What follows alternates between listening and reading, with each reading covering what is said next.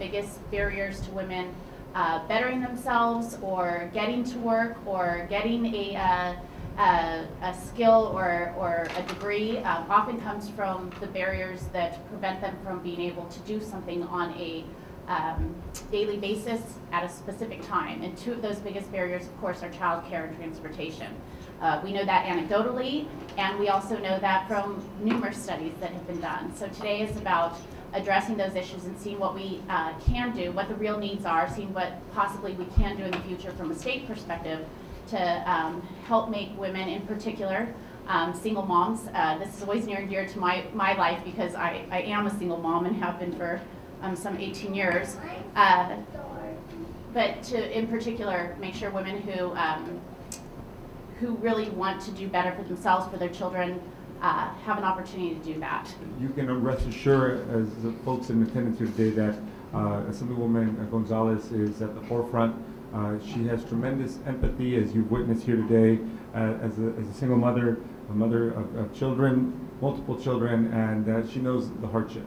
Uh, and it's, uh, it's an area that's near and dear to all of us in the Assembly. I'm chair of Labor and Employment Committee, and I've seen uh, who is most uh, disparately impacted, uh, disproportionately impacted when it comes to accessing uh, health care, a good paying job, and the ability to have sustainability in their life, and that's women, unfortunately.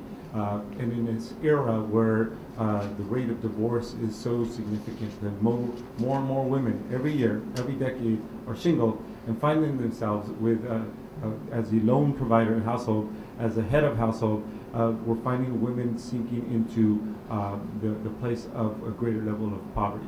And that's unfortunate because there's a growing divide between men and women in today's era. Women are becoming poorer, men are becoming wealthier and that should not be happening in this era today.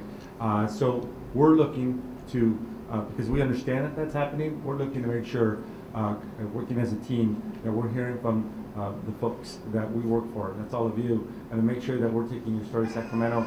And so I see, I saw the heads nodding affirmative uh, when the, when our chairwoman asked, can we share your story?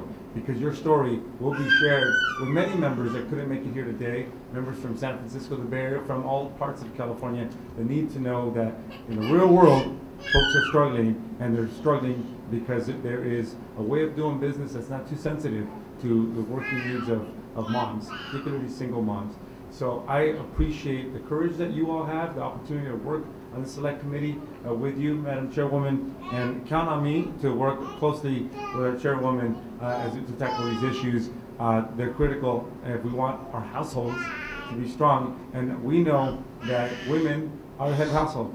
Uh, so if you're not doing well, then California's not doing well. So we want to be there to back you up 100%.